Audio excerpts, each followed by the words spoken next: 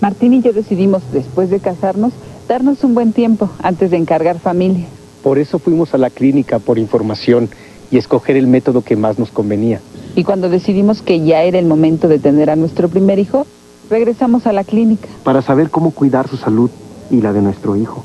Y aquí estamos, seguros con nuestra decisión y haciendo realidad nuestros planes. Planifica. Es cuestión de querer. Consejo Nacional de Población.